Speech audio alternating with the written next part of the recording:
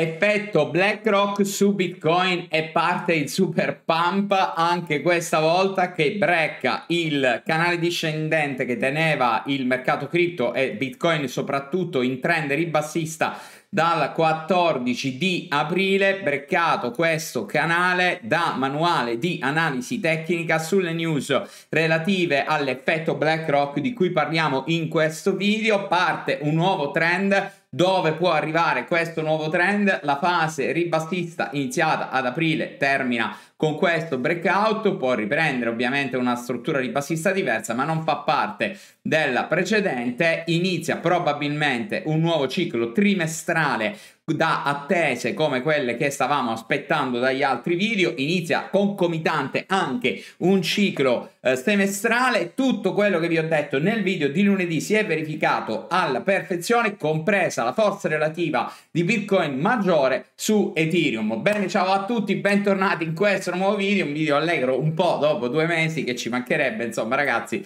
di queste eh, mm, di questa fase di bassista di Bitcoin, sono molto contento di vedere questo atteggiamento di Bitcoin. Tra le altre cose, questo tipo di logica schioda anche un'ipotesi remota che era stata abbandonata, lasciata lì a livello ciclico sulla struttura dei cicli inversi, non ne parliamo mai qui, ma interessante, bella, fichissima quella ipotesi, magari ne parliamo poi mh, in un altro video se si verifica, tanto se non si verifica è inutile che ve lo dico perché non cambierebbe niente e, e, invece tutto quello che abbiamo detto nei video scorsi, soprattutto lunedì, si è verificato ragazzi alla perfezione una ricetta perfetta dopo una serie di manipolazioni del mercato che hanno preso una serie di stop, per cui anche il mio poi sono riuscito a rientrare man mano a gradoni in tutta questa situazione qui, anche in Academy siamo entrati da ieri in tutta questa situazione, però gli stop ce l'hanno presi proprio perché era una fase estremamente manipolata ragazzi e quindi eh, anche più forte devo dire la verità, perché le fasi manipolate su Bitcoin in questo caso sono più forti. Quindi oggi andiamo a parlare di tutte queste cose. Le notizie sono legate a una eh, presentazione di richieste per quanto riguarda gli ETF anche da grandi, eh, ex, eh, da grandi eh, so, aziende americane che comunque detengono grandissimi patrimoni in gestione sotto ETF, tra cui Wisdom 3 e Invesco anche tra le altre cose. Insomma, vi faccio vedere tutto in questo video. Prima però di andare a vedere questo video vi devo dare una news. Eh, stanno lanciando un nuovo exchange, ragazzi, un nuovo exchange estremamente interessante di cui penso parleremo anche nei prossimi uh, video in maniera estremamente interessante. Ci sono e eh, mi sono fatto dare delle promo, non è un video sponsorizzato, già ve lo dico, però mi sono fatto dare delle promo perché l'exchange mi interessa per una cosa, uh, mi sono fatto dare delle promo esclusive per la nostra community, esclusive in Italia e sono molto ghiotte perché sono ricompense in valorizzazione eh, di Ethereum abbastanza rilevanti ragazzi, quindi uh, ascoltatemi un attimo perché quando lanciano un exchange è nuovo, non è mai uscito, lo lanciano, devono anche testare la piattaforma, quindi vi pagano semplicemente perché la usate, una specie di airdrop però in versione checks e non dex, no? È così, quindi vi stanno pagando per fare questo, non c'è neanche il KYC, quindi insomma è un passo gratis in questo caso. Allora, come funziona uh, CoinCall ragazzi? Questo è un exchange che si occuperà principalmente di fare trading, di creare diciamo attività sul trading dei derivati e delle opzioni, a me interessa soprattutto la questione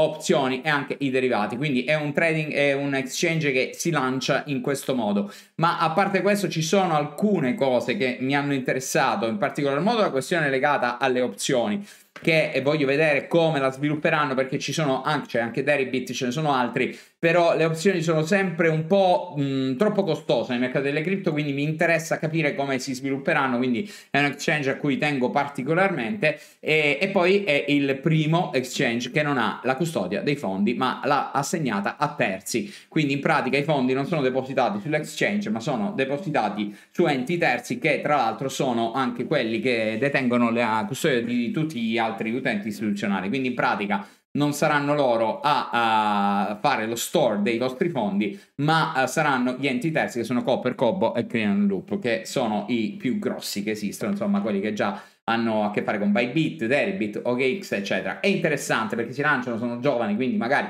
eh, questa cosa poteva essere eh, particolare. Arriviamo alla eh, questione ghiotta. Le promo, ragazzi molto rilevanti. Uh, allora, ci sono tre promo. Una è standard per tutto, tutta Italia, ragazzi, che è questa che vedete. Le altre due sono solo uh, sul link che vi lascio in descrizione e con il codice REP uh, del nostra, della nostra community. E non è possibile accedere con, con gli altri eh, codici. Quindi mh, mm, vi conviene registrarvi appunto da questo in basso, ragazzi, per avere anche le altre due promo. Allora, qui eh, basta una registrazione con le mail, appunto l'inserimento del codice REP che vi lascio in descrizione e mh, potete partecipare a, ad avere 2 fino a 2 ETH free in opzioni. Ora vi spiego anche che significa velocemente. Eh, che significa, vabbè, qui in pratica ve lo dicono che se Ethereum riesce a salire eh, il 1900 dollari entro l'apertura del, dell'exchange che avverrà in pratica alla mm, eh, fine giugno, quindi il 30 giugno, il primo di luglio lanciano, eh, ricevete una uh, earn di 200 dollari, ovviamente se siete però in graduatoria, perché qui è una graduatoria questa nazionale, quindi è così.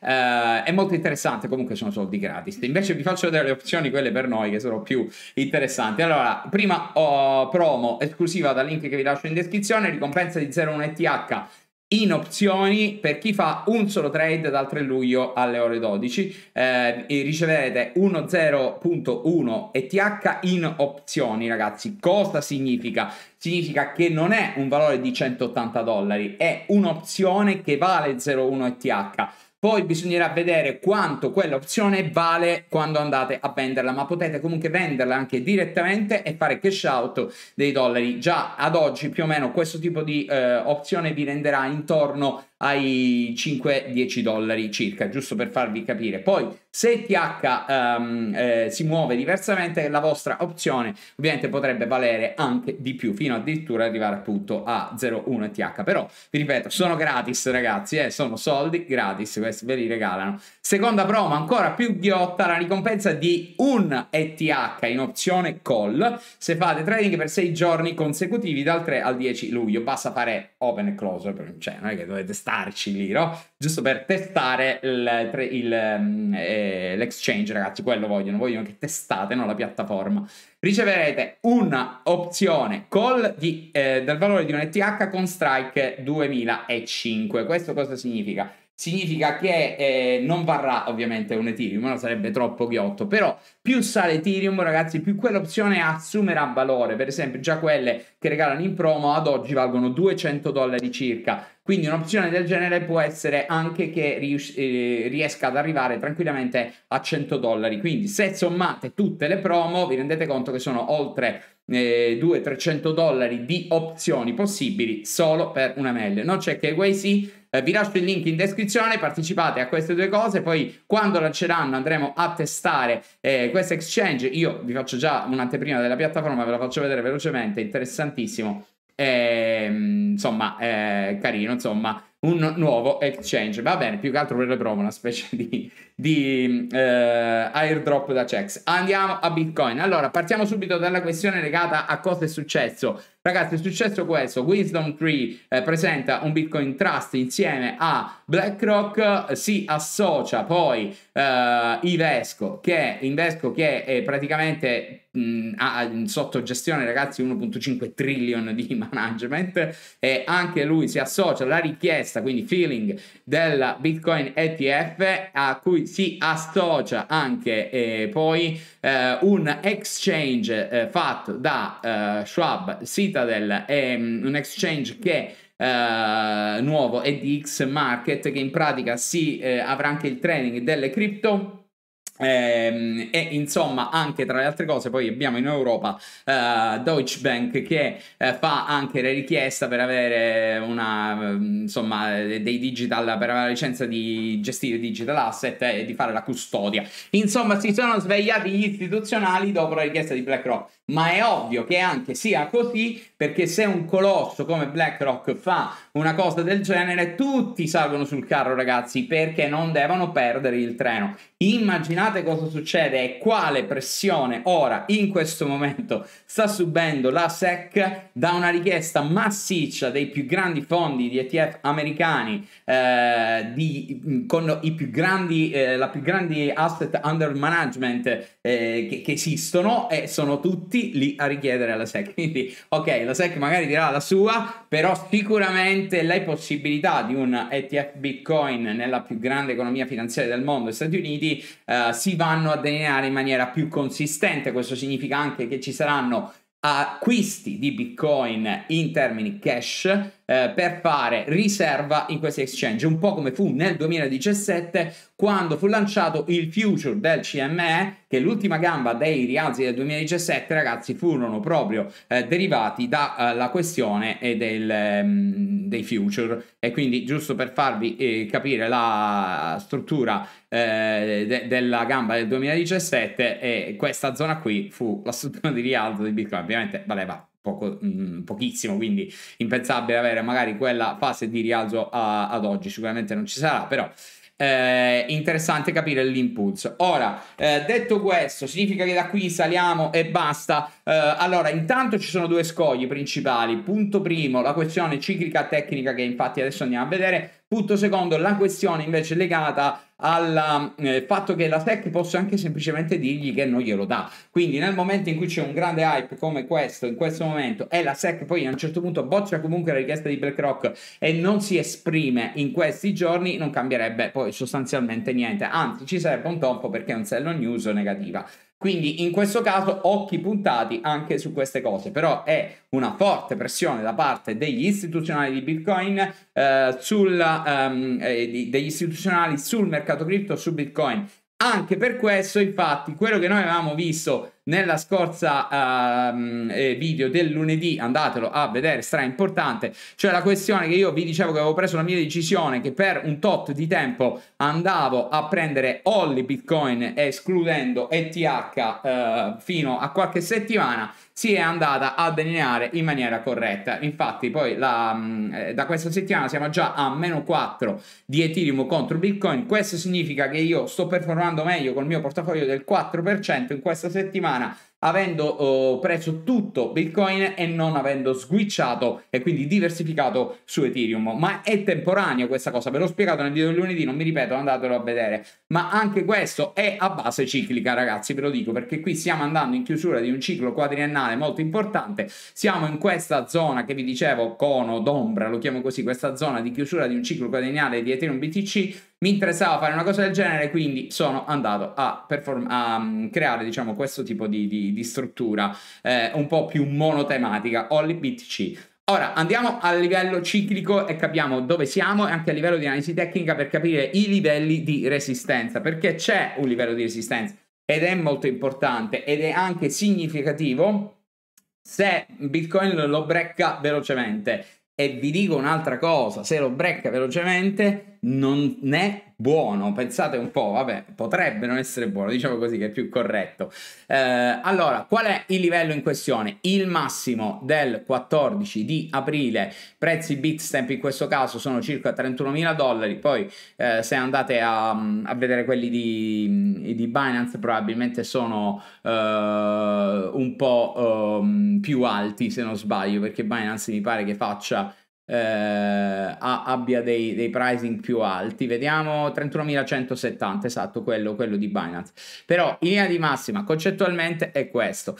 Eh, circa 31.000 dollari il livello di prezzo massimo. Se per caso Bitcoin ci arrivasse in maniera estremamente veloce e fa una cosa del genere, e questo è negativo. Lo so che sembra strano che vi dica una cosa del genere, è negativo da un punto di vista ciclico, perché significherebbe che siamo in una struttura ciclica eh, appartenente a un vecchio ciclo annuale degli inversi, quindi è una cosa che non vi tedio perché eh, insomma poi perdiamo solo tempo eh, e mm, quindi significa che in pratica stiamo andando a creare il massimo del ciclo annuale di Bitcoin e la probabilità che poi si fa il massimo e poi si lascia 3-4 mesi di laterale ribassista è molto alta. Quindi se andiamo velocemente a fare questo, se invece non andiamo velocemente a fare questo e Bitcoin si ferma, si ferma qui, ci incischia, perde tempo, ragazzi, è meglio perché poi lo slancio eventuale successivo avrebbe una valenza estremamente più importante. Ciò significa che se andiamo velocemente a questo livello di massimo è negativo. Se invece noi riusciamo a stare qui e a non crashare e poi abbiamo un impulso successivo, cioè facciamo una cosa del genere per intenderci, e poi abbiamo da qui un impulso successivo questo impulso è notevole ed avrà molta più valenza ed è molto più importante eh, rispetto a una cosa del genere perché eh, configurerebbe poi in quel caso una struttura ciclica tutta volta a rialzo e quindi molto più tempo per andare a fare nuovi massimi. Eh, questo è eh, il senso della questione, ve l'ho tradotto in maniera molto logica, poi magari sto, registro pomeriggio un video in Academy dove spiego in dettaglio tutta questa questione, loro sono anche formati ovviamente sull'analisi ciclica in maniera importante perché hanno fatto il mio corso basic quasi tutti dove ci sono i moduli ciclici ragazzi. Comunque i corsi sono in descrizione ogni volta me li chiedete eh, anche con eh, delle mail particolari. Che cosa devo fare se non ho formazione? Devi fare corso o ti compri i libri Vabbè, mi, sembra uh, sempre strano dirlo, visto che è, è, la stessa cosa che diciamo da anni. Allora, questa zona qui è iniziato un nuovo ciclo di natura mensile, ma la potenza di questo ciclo configura Mm, molto probabile l'inizio di un nuovo ciclo anche di natura trimestrale e quindi configura di conseguenza una struttura anche di un nuovo ciclo semestrale che dovrebbe essere iniziato proprio sul minimo del 15 giugno è un semestrale un po' cortino infatti io mi aspettavo un ciclo intermedio da qui a qui che facesse una specie di barra di congestione ma eh, la notizia poi degli istituzionali ha avuto la meglio. Quindi in questo caso, ragazzi, ovviamente le news fanno la differenza. Potevamo perdere un po' più tempo qui, mi sarebbe piaciuto anche di più, ve lo dico francamente, aver visto una cosa del genere dopo, però Uh, vederla adesso comunque è accettabile se appunto eh, non andiamo a iniziare una campana estremamente ribassista uh, molto pronunciata perché una fase da qui che magari eh, si mantiene perché vedete il mensile è ancora iniziato ma ci vuole un sacco di tempo per chiudere e, insomma, quindi potrebbe magari fare una cosa del genere e poi andare in questa struttura e chiudermi il mensile in questa fase.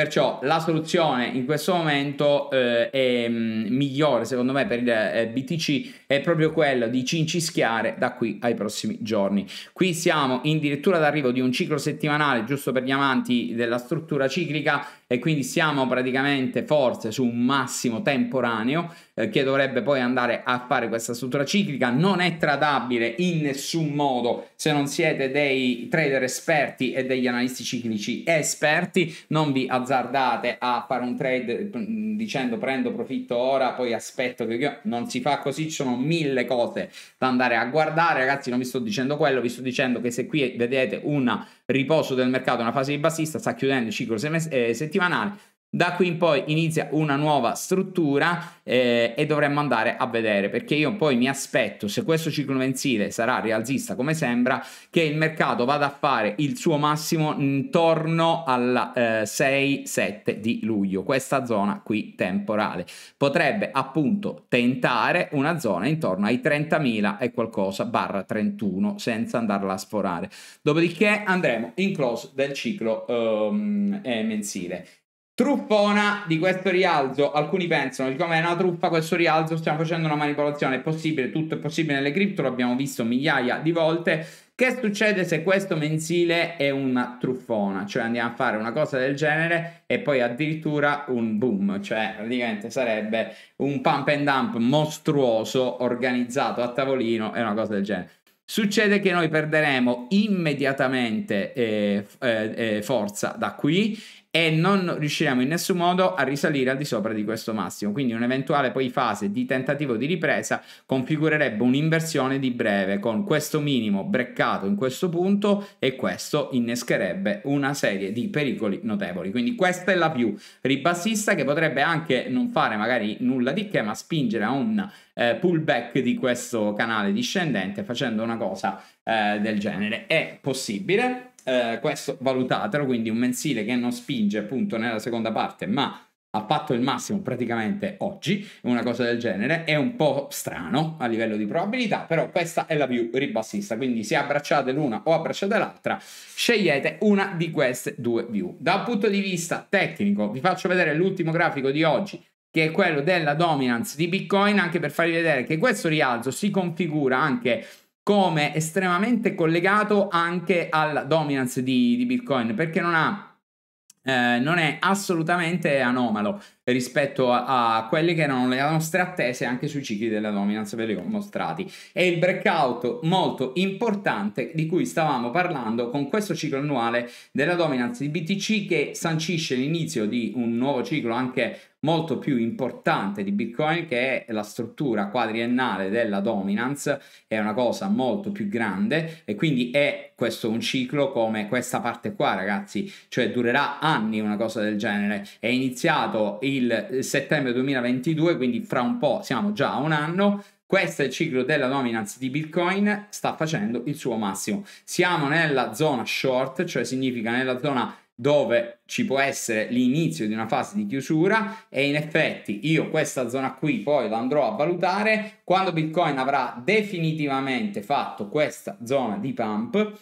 eh, una volta che è arrivata ai livelli di target perché lo andrò a validare? Per switchare di nuovo su ETH e altre cripto. Perché concettualmente siamo dopo giugno 2015 e, e dopo il 15 giugno 2023 quindi Attenzione perché ha un pump di Bitcoin sostanzioso, spesso poi conciso dopo qualche settimana un pump delle cripto. Quindi in questo caso anche il grafico della dominance può darci questa indicazione. Quindi se questo pump di Bitcoin regge poi fra un paio di settimane ci spostiamo a guardare questa cosa qui ragazzi e sarà interessante andare a fare anche crypto picking perché secondo me può essere un buon momento e lo ribadisco anche di posizionamento proprio sulle altcoin eh, che magari hanno sofferto tantissimo. Detto questo, quali sono le vostre altcoin che preferite, quelle che secondo voi hanno dei progetti rilevanti che sono interessanti da mettere anche in un portafoglio di lungo periodo? Io non faccio buy the dip sulle cripto, lo sapete, ma seguo solo il trend, ma se inverto nel trend, perché no? Un buy speculativo si può assolutamente fare. Quali sono quelle? Scrivetelo